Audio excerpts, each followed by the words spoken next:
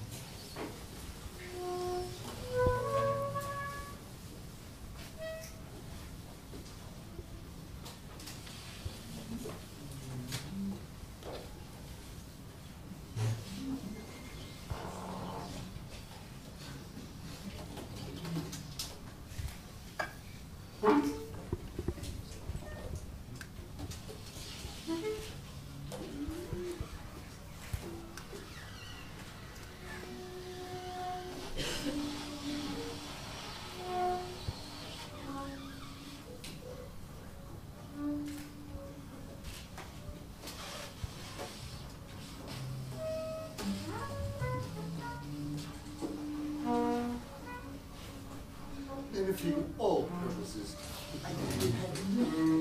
lovely, nice, nice, uh, nice day. What do you think?